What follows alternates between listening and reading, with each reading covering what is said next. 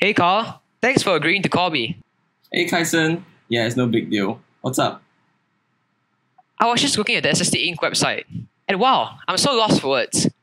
Could you tell me a little more about SST Inc.? Sure, no problem.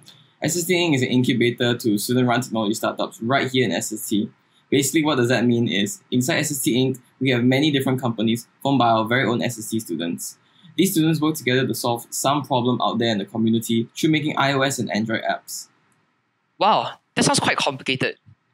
Yeah, well, in the beginning it is, but we actually have a specialized training sessions where lessons, which are typically conducted by us seniors, are created to teach each and every one of our new trainees and make sure they get a good grasp of coding. Ah, I see. You got any apps that you can maybe show me? Oh yeah, for sure. Actually, I have one right now I can show you. Um, Ah, let me take a look. Yeah. This is an app called KKH Pediatrics Anesthesia. It's an app that was created for KKH Hospital for doctors to be able to quickly search for information without having to carry a big handbook around.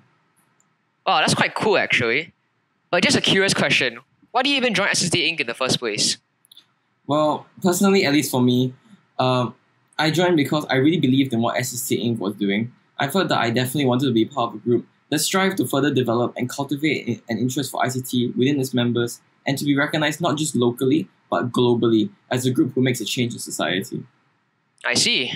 Wow, that's quite a lot to take in. But thanks for sharing more about Inc. today.